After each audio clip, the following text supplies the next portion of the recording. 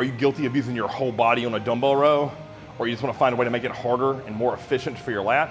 Watch this. All right, guys, a technique I've been tinkering around with dumbbell rows on is rowing with the same foot that I have my front foot with. So whatever foot is forward, rowing with that same arm.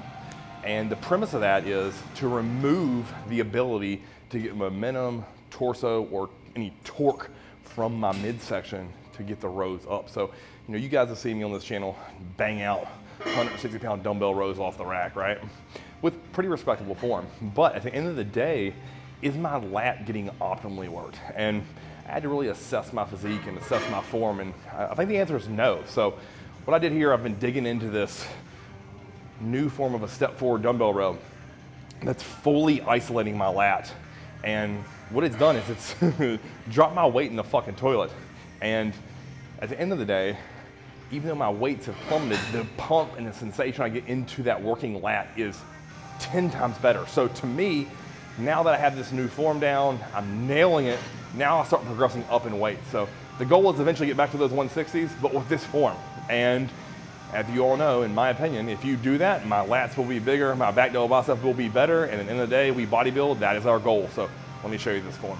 All right, guys, I'm here on the bench, and I'm bracing my non-working arm on the headrest. Then I'm gonna place my front foot, so my left leg is my lead leg, and I'm rolling with my left arm. So we don't wanna cheat this and miss the stretch. So stretch that lat, then row toward the hip. Stretch, row.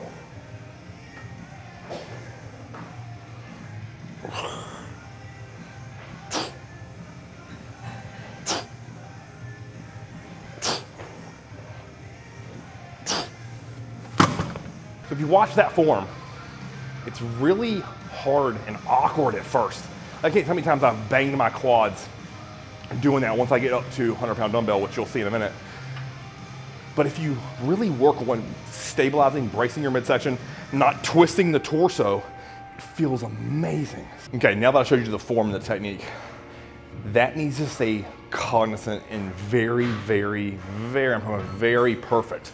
Do not cheat that. Do not twist it. Don't get your hips into it. The 60, the 80, and the 100 all look the exact same for me. And that's because it took, shit, I don't even know how many times, how many reps I had to practice this to get confident enough to where I could show you guys on the video. It took a lot of work. And I would like to think that I'm fairly athletic, but this motion was not easy for me. Um, so if you struggle with it at first, don't get discouraged. Keep trying it. Um, I'm telling you, you'll love it once you nail it. So last thing to finish this video up is sets, reps, where to put it in a workout. Um, I really like three different versions. You can do three sets here of volume, like I'm doing on my pump day.